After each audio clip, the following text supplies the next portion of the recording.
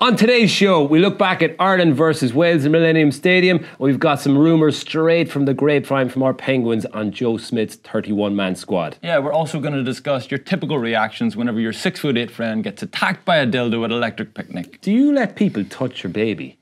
And does Felix Jones hate Irish rugby as much as he hates endangered species? Joe presents Baz and Andrew's House of Rugby, together with Guinness. Hello, and you're very welcome to Baz and Andrew's House of Rugby here on Joe, together with Guinness. On today's show, Ireland finally show some signs of maturity after sprouting a few pubes uh, in their 22 17 win over Wales in Cardiff on Saturday. Our expert in that field, Jerry Flannery, will be on shortly uh, to give us his input. Uh, Joe Schmidt has selected his 31 man panel for the World Cup, yet to be announced. Um, but, But we know. we know We we know some we stuff. think we know. Yeah. Thanks to all our penguins on the ground who have been sending us messages with rumours straight from the grapevine uh, about who has made the cut and who has not. Uh, so thank you to all our penguins. Uh, just on that note, please. Uh, while you're sending us all these details and these uh, messages, don't forget to rate and review the show. Uh, Spat McCarry, our producer over here, uh, ha- you've had a few comments come in. You might lob them our way later on in the show. Have you had any spats this weekend on Twitter? Uh, no, it's kind of just been defend. Defend. Oh, there's just a lot of kind of team selection stuff, isn't there? Like uh, somebody else would be on Twitter in a thread, like slagging Devin Toner, and because I'm tagged in it, then like, I'm called a clown. I'm like, hey, I think called you a clown. Well, hashtag clowns. I was like, I think Devin Toner's a great player. You know, like I think he's a handy player. Like so. Um, stuff like that. It's getting. It's going to start getting very weird. I wonder if it's going to start getting provincial when the, the final squad gets announced and Very true. what Yeah. the breakdown is. How was Skate Cup for you this weekend? Good, good, did well. Back Did- in your good books. Yeah, it did. Like he, he got caught out by that crossfield kick, but it was a brilliant crossfield kick by Jarrod Evans. Like, and then Addison was there to Was he a clean bit- up from. But um, um, but yeah, ah, brilliant. And as I said, like yeah, sixteen tries for him now in twenty one tests. Like so, just one away from Trim being out in the top ten. One away from me and about 55 less caps. Are you in that? Are you in the top ten? Yeah. uh, oh, yeah, geez, if you scored 15 tries, you're in the top 10. Roger's in the top 10. He isn't. He's not. drawn level with Rog. He's level with right, Rog yeah. now. Yeah, No, I suppose. Yeah. Yeah. How, much- how many do you have? Uh, 17. That's great. Yeah, it's, it's great, Well but. done. I have one. Oh. you maybe combine Your them. ratio might be better. How many One, caps have you? one and four. Someone work that out. around the same. No, no, maybe yours is. Oh, I'm better than you. My ratio's better. Unlucky. You're better than me in all parts. I wonder how many flies. 68, that'd be 68 caps. 68. You probably have more than that, I don't. 70, yeah. He's All right, slightly move along, move along, move along. We don't need to stay there. Uh, I also want to talk to you about Felix Jones and him moving to South Africa uh, to join the coaching ticket. Uh, but less of the formalities. How was your weekend? Grand. Grand only. Grand. Yeah, grand. Well, just by comparison, I saw your Instagram video Yeah. uh, of the, the electric picnic. The electric picnic. Yeah, not, not just no, the yeah. acoustic picnic. It was good. I got a few rare hours off uh, on Saturday evening. Yeah. Did your I dad um, show for you? My dad drove me up. Yeah, Yeah. what a legend. Yeah. um, he was like having him there. I, I think people kept thinking he was in the drug squad or something, like he was undercover cop, just wandering around with his little backpack on. Even one of my mates was like, "Who's the narc?" And I was like, "That's my dad, man." He's like, "Oh shit, Mick, how's it going?" Uh, but yeah, it was good crack. Yeah. it's really cool, and uh, I was sad that I had to leave at twelve o'clock. I'm sure. Back to it's, it's back to reality. yeah, back to porridge. I tried to come in after a few pints at three o'clock in the morning and help with the feed. Uh, and I was just told swiftly to get out, get out your uses. I was like, yay! Bringing my banter. Uh, but no, she was having less, none of it. But yeah, shout out to my dad. What a hero. Yeah. Me up. Mm. Did he did he get Fla left as well? No, Fla No, was up. Was up there, but he uh, he went himself. So my dad also um, on Saturday morning I had a little bit of a sleep in, like from six in the morning till ten. And when I got up, he was downstairs with Mick the baby in his hands. And I was like, and he was there, well, and I had a rough night Friday night with, with Mick the baby. He was screaming. And uh, Oh, you didn't have a rough night with Mick the granddad. Mick the granddad was grand. But he was like, uh, uh, this is easy, isn't it? Hold and make the baby. And I was like, what do you mean? He's like, look at him, he's a daddle. Two hands, granddad. I was there, where were you at three o'clock in the morning when he was screaming the house down? And my dad looked at me and he goes, Where were you at three o'clock in the morning 30 years ago when I was pacing the floor with you, screaming? oh, jeez. And I could have slapped you off the feckin' wall. I was like, give me back the baby. give me my baby. He was like holding him by one leg. at Jeez, this he went there. It sounds like he was in good form one minute and then. Yeah.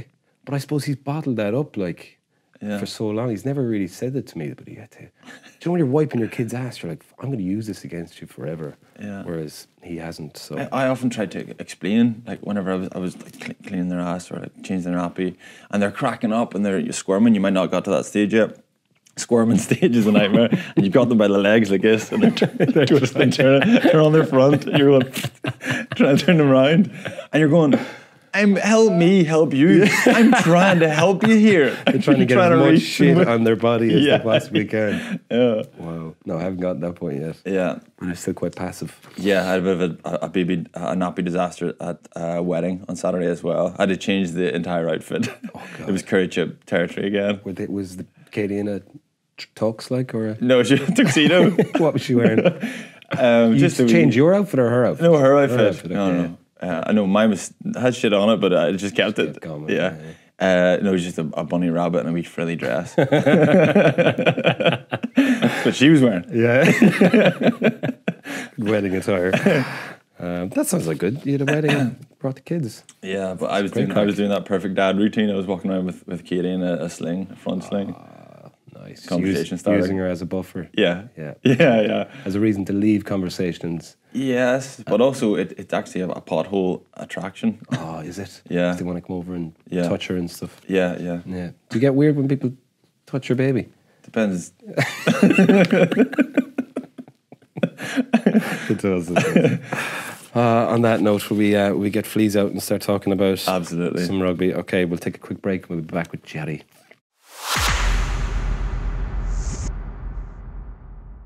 Okay, welcome back, and we're joined on the couch by Jerry Flannery. Welcome, Jerry. Thank you. Um, yeah. Welcome. Welcome. Uh, I didn't catch you at picnic actually. Not that you were performing. um, did you have a good good weekend? I did. It was really good. We got a babysitter for the day, so myself and Katie went up. We went up and down on the day. So Favorite act? um, Maverick Sabre was really good. Can't really remember anyone else. No. Of no. Well, I was at the 1975, but I thought there were it was piss and rain, and it was probably it was getting towards the end of the day. I spent most of my day wandering around, getting food and talking shit to people. Yeah, food was good. Very good. Yeah. Um, who did I enjoy? Uh, Christine and the Queens. Do you like her? Never heard of her. Very good. Um, Uproot Hootenanny. It's very good that I've never heard of her. no, that's terrible. You need to up your coolness. And Listen to. This is like a little, st- a little podium for you to just say how much cooler you are than everyone else Yeah. by talking about bands that you can be making them up like Yeah. Jimmy and the Dog Suckers. I'm like, I've never heard it. That's the best I could come up with. Great Sorry. name for a band. Uh. yeah, band naming a band is hard. It took us months to, Jimmy the Dog Suckers. to name a band. yeah, It took me like a, thirty seconds. Yeah. Not even. Um, anything else? Anything else happen at picnic? Uh, yeah. Um, I was due to do the.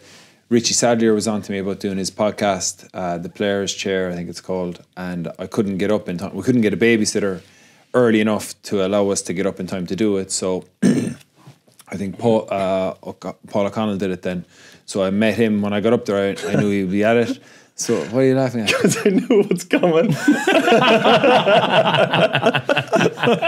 We've, we've tried to preempt this. Any and we've done it stories? Terribly. terribly. And Tell uh, him the story. So I, te- I text Paulie then and I said, oh, because I knew the show was at one o'clock. I got up around maybe around quarter to three or something like that. So I texted him. I said, "Are you still around?" And he goes, "Yeah, yeah." I come up and he was up uh, with with uh, his family and um, and Emily. So I said, "Oh, I said we're over by the main stage. Come over and uh, have a drink." And he said, "Well, we're not going to spend a lot of time here, but yeah, do it. there." it's just it, the it, the image is in my mind now as I'm telling the story. And uh, he said, "Where are you?" I said, I said, "I'm down with the food trucks at the back at the main stage. Come down." He's like, "Okay." And then I saw him wander over, and I was chatting to him, and I was like, "Well, he's there." He's there. Um, I'm looking to get out of here now because everyone was coming up to him all the time, like, "Oh, can we get a picture? Can we get a picture?" And um, so I was sitting there chatting away. It was a good laugh, and um, I was, there was these young fellas that were over there, were kind of a group of young fellas standing, staring at him. And um, I was chatting to him. Next minute, one of them walked over and just goes like this, goes boom, and just stuck this thing in his forehead. And I, I looked at the young fella, and then I turned around, and it was like, I said, "Is that?" Paulie pulled it off. It was a plastic. It was a purple dildo that he'd stuck onto his forehead. And your man was kind of. It was like this standoff where I was there with a, drinking man, and I was like, "What? What the fuck just happened there?" And Paul was there. He just pulled it off, and then he was examining it. And he was like, "Oh, it's a." Purple dildo, and he's st- and he's like, threw it miles away. And then as it as it then your the, your man was like, "You just- What'd you throw it away for him? Paul was like, What'd you stick it on my forehead for? He And was then- offended. Yeah, your man was pissed off that, that O'Connell threw the dildo away. Imagine like the end of Braveheart when Hamish lobs the sword. It wasn't it wasn't the dildo. it wasn't like sticks on someone else's head. Chain reaction. Just through the whole action. it wasn't uh, I have bouncing around the just, just for clarity, it wasn't like wobbly, do you know what I mean? It was it wasn't I know it exactly wasn't- what type of dildo was this. it wasn't particularly thick. Your classic. It would just be like it was. It was. It was. It was light, Yeah. but it was. It was prominent in its erect? angle. Yeah, it was erect. Obviously, flaccid dildos are probably no good. But um, yeah, and I don't know. It was. It was really weird, and I didn't know what way to react. Then, because when when when they walked away, I could see them all, and we were like, "Oh fuck, that was kind of a dick move." And I was like, "Yeah." I, did, I didn't even mean that, but I was like, "Fuck, little prick," and I was like, "But uh, okay," I was like thinking, "Oh man, should, should I should should I box that guy?" And then I was like, "But you can't be that loaded that you think that something like that's going to happen." You can't anticipate that. yeah, yeah. Because what if they just like, you know, I I don't know, like uh it's just It's the sure. you're never you're never going to expect that to happen. Like you never expect it to be a, a, a purple dildo. Oh, you'll know for next time. Yeah, yeah. I hope it doesn't become a thing now, where it's like kids start going, "Oh, this is really cool," and they all start doing it. Oh, every time they see Paul O'Connell, they're like, like you're on transfer deadline day when they used to do in transfer deadline day. That he's it's constantly happening. Like so he's like, just has loads of dicks. no, he's just like to his after a while, it's so like, look, it's just it's not, Imagine it's like not worth You it. have some Hellraiser.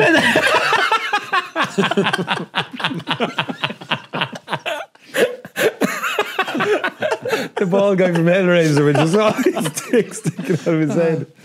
Yeah. Okay, well we can move on, we can move on from that. Was he was he ratty? Was he was he Oh yeah, we were furious? both. We were, like, we were, it, it, cause it because it was so because it was so weird when it happened. We're like, that just fucking happened. Such an aggressive move, like, And- because you can't place it on the head. Like, it's gotta No, be no, like you've because you've flat. got to get the suction. So you've got to You gotta lick it underneath the and then onto the forehead, and then it was like, I was like, what? What did he just do to him there? And then it was like, boom, Paul took it off, and it was when the when he examined it, that and it was like. What is this? And then looked at the guy and then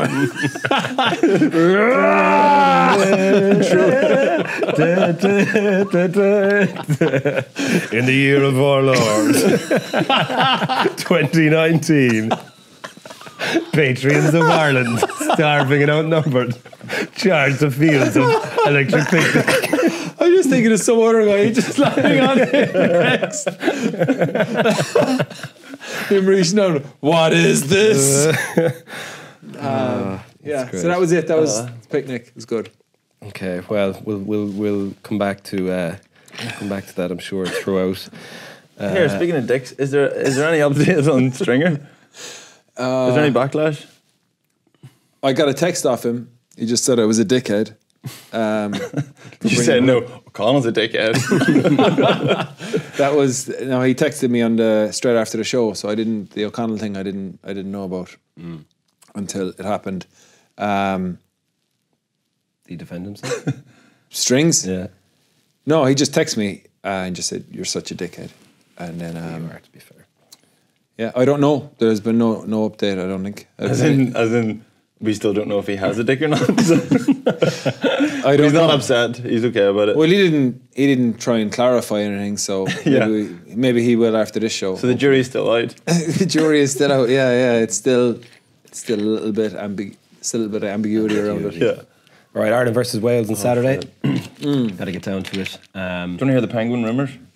well, yeah, will we go with the squad first, then come back to the game? Yeah. Yeah. Yeah. Okay. Okay, penguin numbers. Penguin room. Uh, uh, highlights.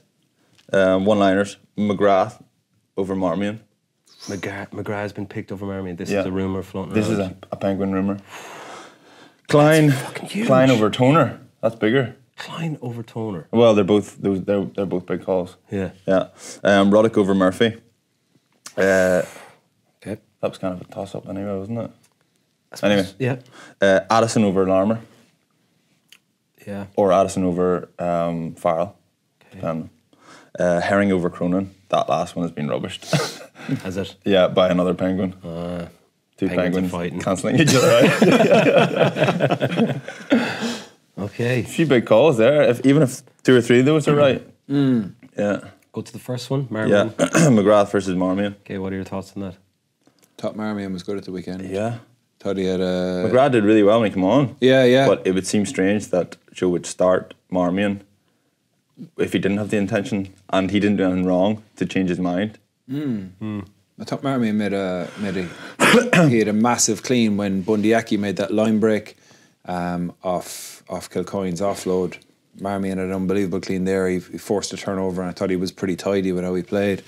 McGrath when he came on saved the try. So yeah, uh, but I, I would have thought the pecking order would have been Marmion ahead of McGrath. But That's what it looked like, and that's what it's mm. been for the last while. Yeah. Mm. But I think those two are really good for each other. They tend to bring each other on because Marmion obviously played well, and then Luke maybe felt under pressure to produce a big one. And he did. Made that try saving mm. tackle on the line. Worked hard. They're probably, well, it's kind of, it's always been Marmion. Anyway, that would be a surprise, I think. yeah, yeah, agree. The next one you had Uh, Kleyn versus Toner, or Kleyn ahead of Toner, sorry. Yeah, it's a big, it's a big, big call. I, the one thing John John Kleyn brings is he will be more physical than any other player in the in the Irish in the Irish pack. It's not like for like though, because No, he doesn't not. call, does he? No, he's not. He's not a line-up caller. But I think maybe after the fact that Peter Manny is uh, look, I, I don't know. Like I, I would have thought that that bringing John that that John had, had I thought he'd done reasonably well. You know, to get up to speed. Um, in a short space of time, I thought he'd done reasonably well. He showed his physicality, um, how he can mix it there, and that's where we got exposed against England massively. Um, so that's what he has probably. That's probably has what he has edging it in his favour if, if he if he is to go. the fact that he's a would- he's would a the two of them work? specialist. He's a two of them specialist front line. Kleyn and James Ryan work well in the second row together? Who calls? I, I think I think it's I think it's James Ryan or Jean Kleyn to start. Yeah. And I think that James Ryan is is because of his work rate, because of what he's done. I think he's he's he's your starter Mm. as as your uh, as your front lock, and then you have like you have like Ian, Ian Henderson or you have Toner or you have Beirne as, as your as your caller then, Mm. and then you one one of those guys is on the bench then because if you if you put John on the bench. You're bringing him on. It's it's not. He's not so much. He's a guy you want to start because of the ballast he gives you in the scrum. And Mm. Has the he done enough? Do you reckon? Like, do you think he's? I, I, I would have been surprised. I think uh, I look. I've worked with him, so I, I love him as a player. I think he's a great player. I just think that it, he had the, the window was so tight for him to try and impress to the point where he can get on the plane.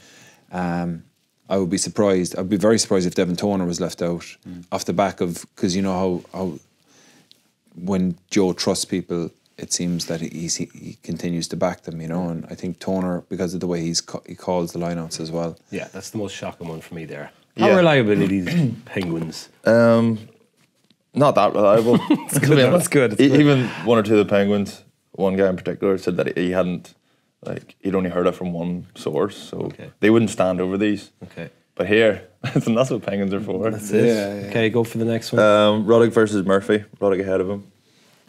Apparently. Yeah, I thought Jordi Murphy was going to go because of his versatility. Um, um, but I think if you look at playing Peter O'Mahony at seven at the weekend, playing Tadhg Beirne at six, it possibly allows you to to go with Ruddock, who's potentially considered more of a specialist uh, over Jordi Murphy. Um, yeah, I'd be. Okay, next. Um, Addison versus Larmour. Let's get on to Addison. Big fan of the show. Yeah, Yeah, like we're, when we're it, a big fan of his. when it boils down to the, to your 31, uh, for me, a lot of them are, are are a given. Like I think we'd all agree probably on the front rows that are going right. Um, we don't need to go through. Is it, uh, Hook, Hooker is a little bit the third choice hooker. Third or choice hooker, I think, because Third choice or your third hooker. Yeah. I think Best and Scannell are going to go, and then between Herring and Cronin. because Herring hasn't played. Yeah. I think it has to be Cronin. But Cronin hasn't played either. He's, he played um, 20 minutes against England. Yeah. So, But it- it's- Harry it- but played 20 but- minutes. He started. Yeah, I think it's just off the back of what Sean has done. So would you? Yeah, it's more that. What more would your choice be? No, uh, Oh, put your cock in the block now. Yeah. uh, my I think the expected choice is probably Scannell, Rory Scannell. And Rory Cronin. Scannell, the centre, Rory, hooker. Rory They're going to Scannell. pick him. And Rory Scannell. Yeah, well, there's going to be some surprises. Best Scannell and Cronin is probably what's expected. Okay. You can't argue with that, really. Yeah. Although Herring, if he had got an opportunity, I would imagine he would have been in the And, mix. then, and then we've got okay, we've got Toner, more than likely, uh, Henderson, Yeah. Beirne, or sorry, uh, James Ryan. James Ryan. uh, the the three guaranteed second rows, and then it's Jean Kleyn. I would say or Tadhg Beirne, right? If Tadhg Beirne is going to the sixth, like, you, what are your thoughts on on? Well, unless unless they're bumping, bringing, they're going to carry Jean and then take Tadhg possibly as a, as, as a second row, back mm. row cover. that would be my that would be my call. I think. Yeah, I, it, it'd be. I, I didn't. Ex, I didn't expect them to, to bring. If you consider Tadhg as as a lock, I didn't expect them to bring Toner, Henderson, um, James Ryan, John Kleyn, and Tadhg Beirne. I thought it would be it'd be four out of that 5 But maybe they're. But they're if they bring the fifth, if they bring Tadhg Beirne, then that means they can. they, they drop a back row. yeah. Yeah. So that means maybe Tommy O'Donnell misses out and maybe Jordi misses out. Yeah, yeah. Well, look, I, I think um, Or Ruddock. I don't know. Yeah, and then you get to scrum halves.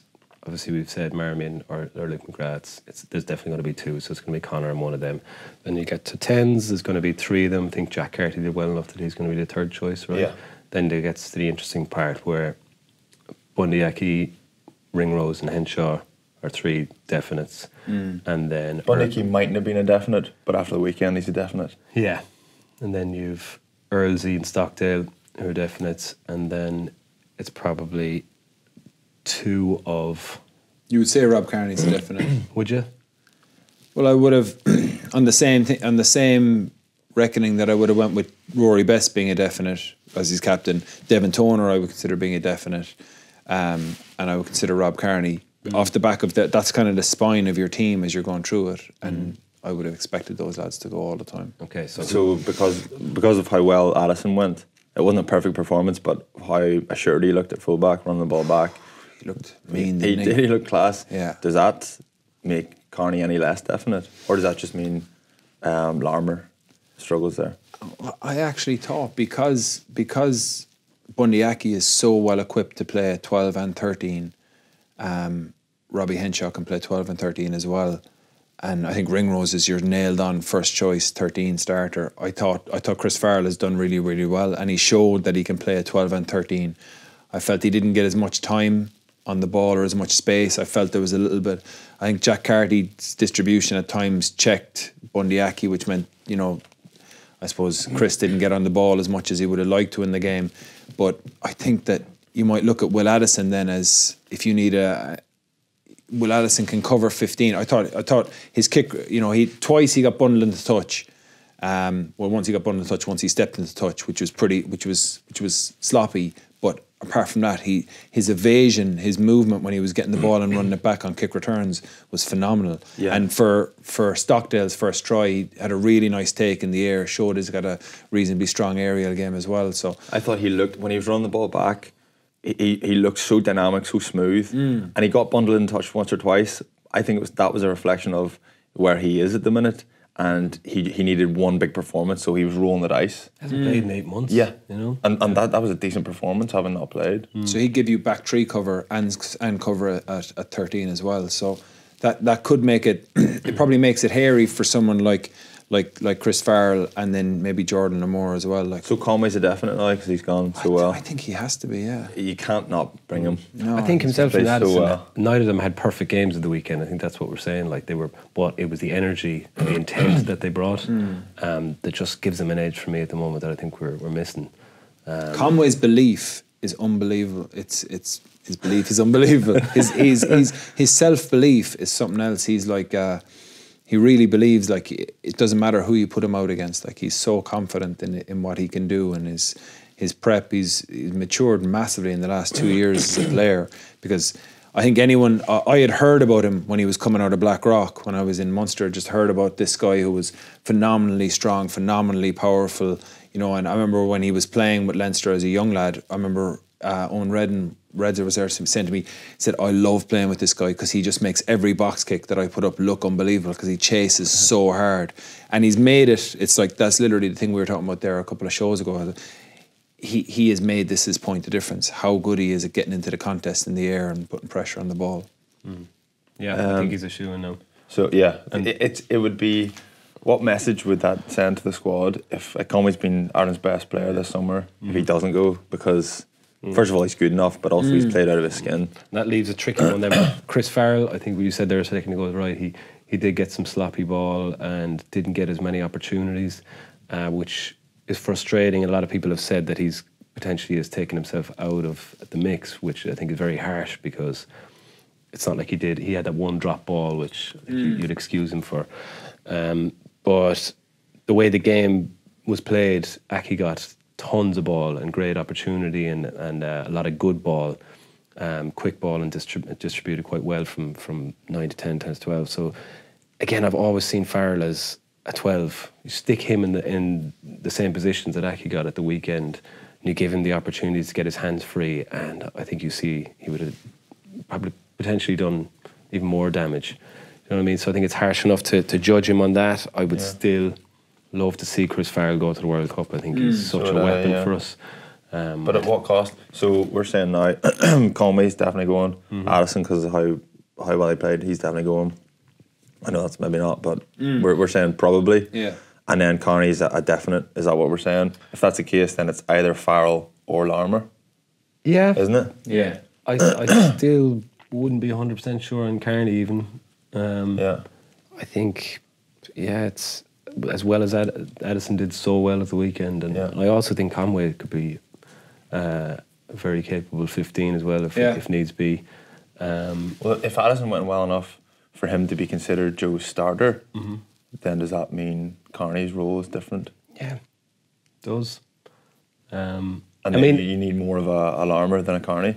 Maybe. I mean, Larmour hasn't lit in the world on fire either for, for Ireland over the, over the last uh, while. He s- still doesn't have the experience that Conway has that I think gives Conway the edge over him. Um, and then, yeah, it's just a decision on whether Yeah. he can offer more than Kearney off off the bench or. Yeah. Do you know if there's a huge gap between Conway and Larmour experience wise at, at, at, at test level? I don't think there is much between them. But I understand what you're saying, like Jordan Lam- Larmour is, is, is he's, he's younger. You've Yeah. you've changed the old pronunciation there. I noticed. come to our Lamore. side. Worn you Larmour. down, have we? I'm just not really sure. Jordan. What are you saying about Rob Kearney again? um, no, I don't know. I Two don't lads who uh, I think copper fastened their importance to the side were Dave Kilcoyne and James Ryan at the weekend. You know, we talked last week about the lack of physicality and characters and that kind of energy that we, we needed against England, and two of them obviously unbelievable at the weekend. Kilcoyne had a massive game, hadn't he? His Yeah. carries were phenomenal, and uh, obviously the scrum was, was completely dominant. Yeah. But for, for, for all of the Irish front rows that played, when I thought when Furlong and Porter and Best came on as well, they they, they ramped it up. Um, I, yeah, Irish scrum was really solid. Kilcoyne gave massive, punchy carries, and uh, he was just really really busy. everywhere. Smashing boys in defence as well. Yeah, yeah. He's looks like he tackles with his face sometimes. You know, he just gets. It's it's cause he's really really quick. He's really really powerful. He gets off the line so hard. He's just meeting. He's just meeting people over the gain line and Yeah. still and stopping them dead. Uh, it was it was good to see. I thought I thought James Ryan and Kilcoyne coming in added a lot of ballast around that kind of momentum stopping as well. Um, so that was good because I don't think it was. It wasn't in any way. I don't say you couldn't compare it in any way to the English to the English game and say, well, oh, we've dealt with some of the issues from that game. Defensively, I don't think Ireland were ever really stretched off set piece. I keep remembering O'Connell. Yeah, yeah, yeah. I know. Hellraiser just keeps coming back up. Um, but they, uh, Gary on that. but they, but they, but they never really, you know, the, the Irish defence could always see what was coming. You know, they, they were never really massively stretched off a, off a first phase uh, at launch, so they could see what was coming and they defended it quite well. I think when when Jarrod Evans went off and Patchell came on, they, there was a lot more energy in the Welsh game. They were different altogether, weren't they? Yeah, Patchell was yeah. I think that's that that worried me then. Like again, what, what like what we've struggled with uh, against England, against Wales in in the Six Nations is when we're stretched. I think sometimes we get we get quite narrow, and it's actually it's something I don't think we're great at doing. An attack is where the nine to ten pass is. Uh, is cutting out four or five defenders, and that's what Patchell was bringing. I think on, on Saturday when he came on, he was starting relatively narrow, but then when the, when the pass was coming, he was taking three or four steps, taking out three or four defenders at one pass, and then they were they were stretching us across the field and getting around us, and uh, I think we struggled massively with that because we were bringing line speed in the first three or four players, but then outside of that, it was uh, we're just falling off tackles. And, um, I think all on reverse of that, then we're we're getting really narrow in our attack. Would you have, have you ever have either of you picked up on that?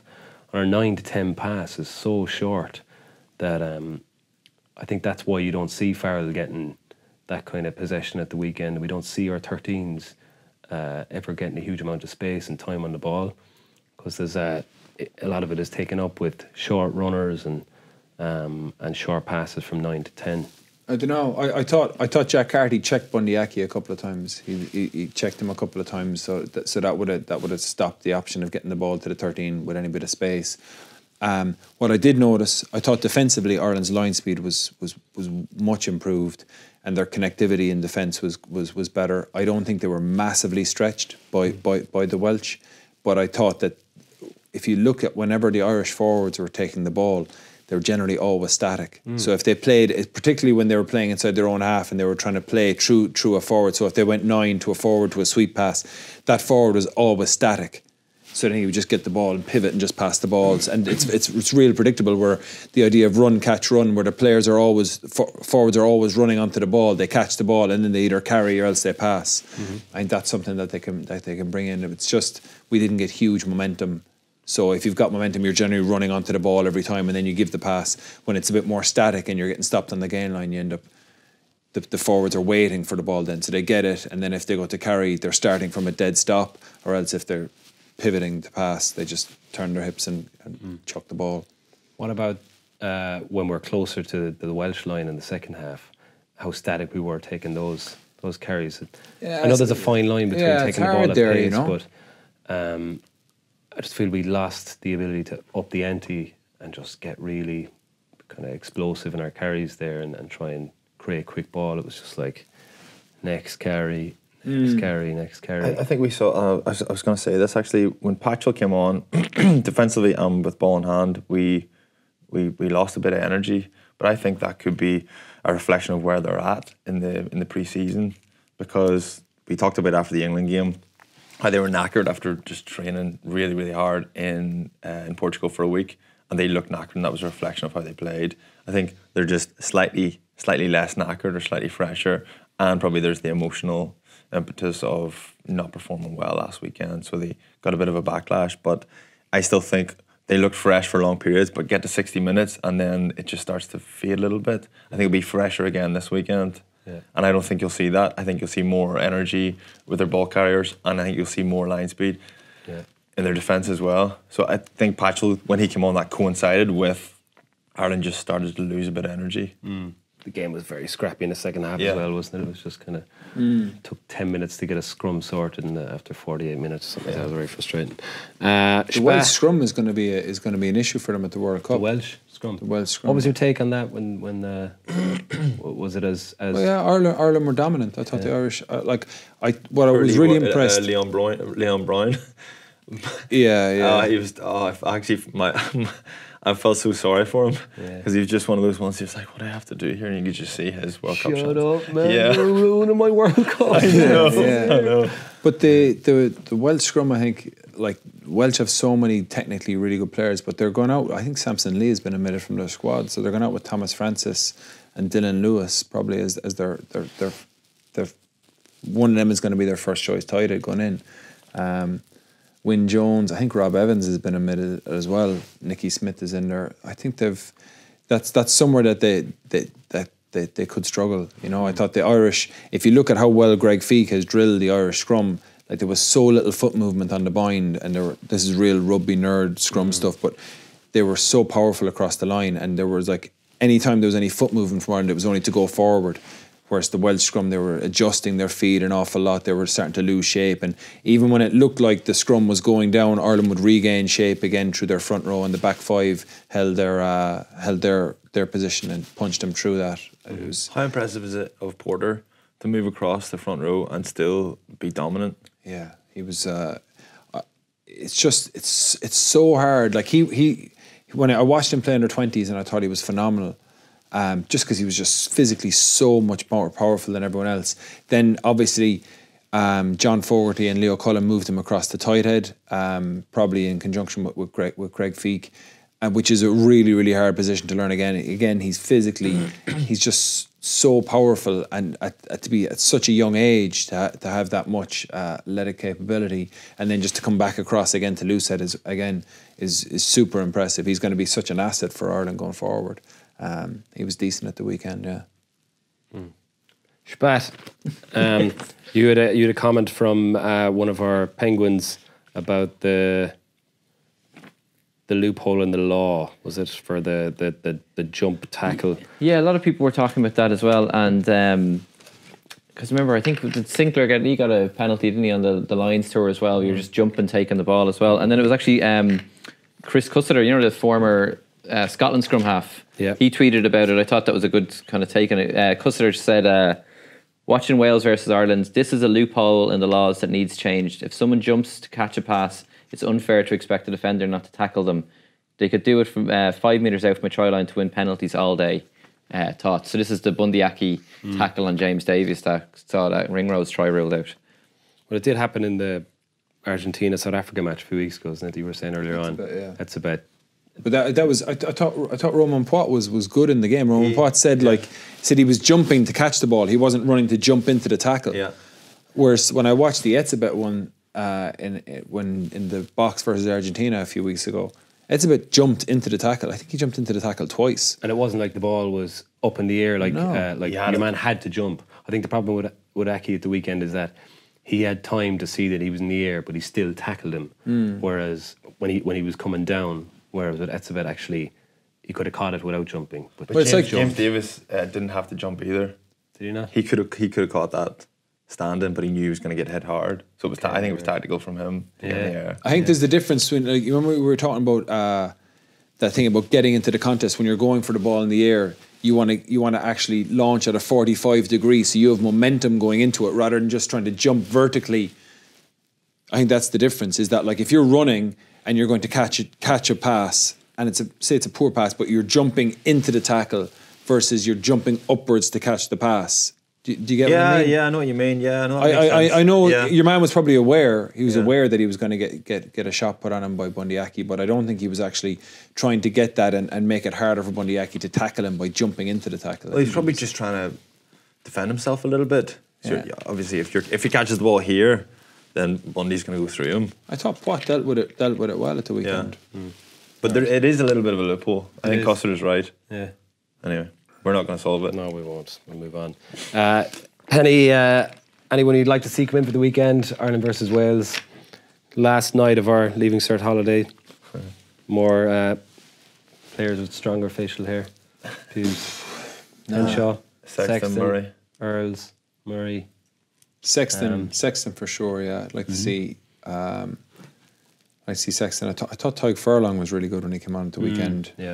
Um, just want to see those, those the guys that you kind of generally count on. Like he's going to give us a minimum seven or eight out of ten Mm. every time he plays, just to see them getting in. And ideally, you'd like to see Joe being able to play the spine of the team that he wants to play against Scotland again. Uh, I'd imagine injuries, if injuries aren't aren't an issue, that he can he'll, he'll go pretty much the spine of the team because he's got his squad selected now. So Yeah. whatever's going into Scotland is, is going to play against Wales. Yeah. Yeah. For you? No, absolutely. Okay, quick one on Felix Jones. Uh, big opportunity for him signing for uh, the Springboks or joining the, the coaching ticket there as a defence coach, which surprised me because he's been a backs coach for Munster for three or four years. What are your thoughts on that? Yeah, I, I'm not sure. Well, I'm not sure what about the defensive side of it. I, although the thing is, that Felix Felix coached the attack in Munster for the last few years, last three years, but he also um, he also like when when when Rassie and Jacques left, Felix took over our, our kicking game as well, and he took over our exits. So he's, you know, we had like five coaches when Axel was there, and then we went down to went down to pretty much three with Johan as well. So Felix was had had quite a lot in his plate. He was covering an awful lot. So I think, I think the Boks can employ him whichever way they want, and he, they'll get a lot of value from him. He's a phenomenal coach. Um, I think what he did with, with Munster was pretty pretty incredible. Like p- people, people were quite critical of, uh, of Munster's attack towards the end of last year, but you just have to look at it like w- before Felix came in. I think we scored fifty six tries in the league. The following year, under Felix's first year, I think we scored seventy seven. The following year, we scored seventy eight. The following year, we scored maybe eighty two. The only teams that were finished ahead of us in in in attack were Leinster and Glasgow. So gives you an idea. And I didn't see Leinster exactly ripping Saracens apart in the in the final. So yeah, I think Felix is there'll probably be a lot made of the fact that that Felix knows the Irish team and knows the players, but teams are doing enough. Rassie knows them anyway. doesn't Yeah, he? yeah, Rassie would know them already. It's it's the the big thing is that is that the Boks have got got themselves a phenomenal coach. You know, like he was he was 30 years of age coaching the attack in Munster as the youngest attack coach you could have in probably in, in elite European rugby. Just in terms So- of hard work, like there's no guy out there that will work harder than Felix, like keep his head down. Um, it is a clever chess move from from uh, from Rassie as well. Like it's like, oh yeah, we'll we'll, we'll take Felix absolutely, and we'll stick him in our coaching ticket. Like it's just the second you heard it, you were like, Yeah, what, but a they- great, they were, what a like- great move. like Felix, you have to if you put it in context. Like Felix, Felix played with Leinster. He came down to Munster. He captained Munster when he played at Munster. He came in. He coached Munster. He was thirty years of age. Um, thirty years of age, coaching the attack. Like uh, attack is probably the hardest area to coach, and uh, he did a phenomenal job with it. And uh, and I think Rassie had contacted him a good few times about leaving Munster, and he didn't. He, he refused every time, and uh, it just happened then that at this stage he he had he had decided to leave Munster uh, this summer. So he, he was he, he didn't have a coaching gig, and uh, when Swys de Bruin got got uh, was was taken ill, it just made sense then to bring him in because I suppose Felix is going to know Jacques Nienaber, he's going to know Rassie, he's going to know Aled, and he'll be able to slot in straight away. Whereas if if you have to look at trying to get a coach in from somewhere else, you're like, is he going to work in the coaching setup? Is he going to be able to get up to speed? Whereas uh, I think the Boks, Rassie's philosophy on rugby it won't have changed massively from when he was at Munster. So Felix will slot straight in there, and uh, I think it it gives us two horses to back now a little bit. You know, you, you're looking for Ireland to go as far as they can in the World Cup, and you've also got Felix Jones as an Irishman coaching with the Boks, so it gives us another team to support. Good Is it a short term thing then? It's only till the end of the World Cup, is it? I think it's I think it's just on a consultancy basis that he's coming in there, but whether it goes beyond that, we'll see. Yeah. But it's it's it's good it's good to have another guy coaching, another young Irish coach out there, coaching like at, at a World Cup. It's phenomenal. Like he's got international experience now. So Well, one of the main reasons I want to talk about this because I've been waiting a year to be able to to get this story on the show about Felix Jones. Uh, so now that we've gotten that out of the way, can we get to the, to the, the good stuff? So Trimby, you and Felix were quite good mates when he played together. Was it Yes, after we were- 2000, we- 2011 tour of Argentina you went on? Um, no, no, no. It was after. It was uh, 2014, I think, wasn't it? 2014. Yeah. it was that one. Yeah, yeah. No, we, we were good mates, but then he obviously hates animals, so I, uh, you know, Why does he hate animals? yeah, he, he just hates en- endangered species. Really? That's what he does. Yeah. Okay, tell so us then, the story. Uh, anyway, so we got in bother. Went to. We both had a week after. After tour finished, and um, we decided we would go to Machu Picchu and do that um, that gap year, gap year thing. So we had we booked this trail. It wasn't um, the Inca Trail; it was the Lares Trail, fraction of the price. so, go all the way to Peru and do like the cheap one. uh, but um, anyway, so we end up being quite good mates with uh, our um, our guide out there. Armando was his name, and he came into that. We were we were camping in this valley in the middle of nowhere. And he came in all excited one night into the tent and grabbed us and brought us round. And he goes, "Wait, do you see this? Do you see this?" And um, they brought us in, and there was this um, farmer with this um, taxidermy species, um, and he was like, this was his pride and joy. And the backstory to this was this farmer, he was a llama farmer, and this uh, puma had been, um, you know, picking off his llama. Terrorizing his farm. yeah.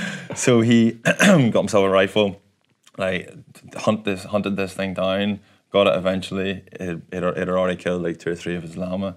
So it's like, you know, Fair game. This guy hasn't got much going for himself. I didn't see too many llama. Not too many left. So he hunted this um, cougar, got it, shot it, brought it back, and stuffed it. And this um, cougar or puma was it's his pride and joy. So he was like, Got on the mantelpiece. Like. yeah, yeah. He wanted to get a picture with us, so um, uh, so we got a picture with it, and then um, Felix, when we got signal a day or two later, um, so we had plenty of time to think about it. Yeah. he didn't rush it. he um, put put the picture out. And Tweeted uh, it. tweeted it out and said, um, "Thanks very much to Mary and John for having us round for barbecued puma." so, people Picture of you holding uh, people lost their minds. the puma with Mary and John either side with So it's their happy little faces. Yeah, uh, yeah, they were delighted. We were delighted at the time because we didn't realize the backlash. Mm-hmm. Anyway, it was, it was Felix's idea. Right. the whole thing. So you jump on a flight back to Ireland. yeah, we jump on a flight back to Ireland, and as we arrive, all hell broke loose. So you've got a, a Yeah. newspa- he's got a newspaper clipping here from I think it's the Irish Independent, is it? I couldn't tell you. the headline was Rugby Stars dismiss dead Puma photo as prank after online fury. and it's a picture of us holding the cougar or the Puma. I think the same thing. Yeah. Anyway, um, uh, it looked like it's so like a dead puma that even PETA, PETA, uh, the International Animal Rights Organization, had called on local authorities to investigate the circumstances surrounding a picture posted online by Felix, the the animal hater Jones, the Munster Ireland rugby He's going player. to the right place in South Africa, isn't he? Yeah. Over hunting. Uh, um, the fullback uploaded the image to his Twitter account on Thursday. It featured himself and Andrew Trimble, the Ulster and Ireland winger, holding the animal, accompanied by two locals. Two locals, huh? Uh, bit racist. How do they know they're locals? Anyway, um, uh, uh, holding the animal accompanied by two locals. The tweet read, Big thanks to Mary and John who had us over for barbecue puma. Following considerable online anger, Jones removed the picture from his Twitter page last night and explained that it had all been a prank. Apologies for any misunderstanding caused by my tweet. He said the photo was of a taxidermy specimen. We did not kill or eat any puma. Barbecued, barbecued puma. Yeah, so he, he, he put it to bed with that follow up My- uh, apology. My favorite is like that's a that's a good full page spread of an article in the paper. Yeah. And the first bit is the bones of the story, and then whoever the journalist is went on to explain how endangered pumas were in the area, and then at the end was like, and not only is that bad enough, but Ireland had just come from playing the Pumas, uh-huh. and Ireland's jerseys are made by Puma. It was like, oh my god! They just Googled Puma and they were like, oh, that's a wee angle. Oh, was brilliant. Oh, that was great. Anyway, we were freaking out at the time. Yeah, you can just imagine Felix now as, a, as like one of those dentists in, in Africa that's just shot a giraffe. Yes, Like a big obese dentist who's just shot a giraffe. And the world just loses its mind. Yeah. Anyway, it was all. Oh, that's great, man. I love it. Well, congratulations to Felix. Um, just on that, uh, Dyantyi facing a four-year ban for for getting uh, Drugs. getting drugs. yeah, For getting caught. which he denied ever taking any prohibited substance. Obviously, obviously, you would deny it, but um, yeah, that's a bit of a shock. Uh, your thoughts on that? Jeez, they're all at it, aren't they? Do you reckon? I don't know. Felix is going to come back from South Africa, 115 kilos, ripped. Uh, right, we'll be back at black and white uh, in a moment, and Jerry is calling the shots. Right, lads, it's time to play black and white. Everyone knows that a pint of Guinness is the perfect excuse to bring friends together, but on this week's House of Rugby, we have a statement so shocking, so contentious that it might tear the house apart. Baz, Andrew, Andrew, you're going to be arguing for this statement. Baz, you're going to be arguing mm. against. James Haskell is serious about pursuing a career in MMA and is not doing this purely for attention and to stay relevant in the media. There's 60 seconds on the clock. The current score is Andrew 3, Baz 1. I got this one. Okay, so Baz, you're arguing against. Okay, 60 he's- seconds. So he's serious. Bat. You think he's serious? That's the statement. So the he's statement. I didn't. I'm not. I'm. I'm. I'm impartial. Is he serious? So I'm saying he's not. He's not serious about taking it up. He's okay. Go. Clock started. Yeah. Go. Yeah. I mean, what do we know? Brand Haskell. That's been there since day one. He had his own website. Like after a week of playing rugby. Um, didn't he marry Richard from Richard and Judy's daughter, or both of their daughters, to just to get on the show? And they didn't even have him Married on. both of they their did both their daughters just in case one of them wasn't famous enough, just to get on the show. And I don't even think they get him on the show. Didn't he like drive a tank to get breakfast last week or something like that? Or someone to give him a free breakfast and they didn't even have it. So now he's like gonna pretend like he likes MMA, but he's just gonna get his head kicked in. Okay, well, for me, um, James Haskell is the salt of the earth. He does everything. He's quiet, unassuming, does not attract any unnecessary attention to himself. He did all those things with a genuine heart and a concern for the bigger picture. so he did. he is concerned. Here's an example. He's concerned about the big issues in rugby, for example, squirting water in people's faces. He's like the William Wilberforce of rugby. He stands up for what's right. And have you ever seen anybody get squirted water in their face since? Since. Because he stamped that issue out. Now he's concerned about stamping some uh, so, uh, some issue What's his in issue in MMA. MMA? He wants to stamp someone's face out. That's what he wants to do. And he's going to stamp your face out whenever he hears you talking crap about his uh, mother and father-in-law. Okay. Just time. Yeah. Just give it. Just give it to him. Uh, a good contest. I think. Based on your stuttering towards the end, I'm going to give this one to Baz. I did stutter. I did stutter. He did stutter a lot. You're so, clutching. You're clutching a dick. so Baz, this is you. Thank no you. sweet smell of success for you this week. You smell. You smell differently this week. Three two. Yes. Well done, lads. Thank yeah. hmm Enjoy, enjoy your sympathy pint. I will. Sorry, James Haskell. Right, thanks everybody for listening in all your favorite apps and for those of you watching us on YouTube. Hello. Uh, cheers to everyone that was involved in making the show this week to uh, Alan, Fiona, Pat, and of course Anthony. This has been Baz and Andrew's House of Rugby here on Joe together with Guinness. Party on. Party on.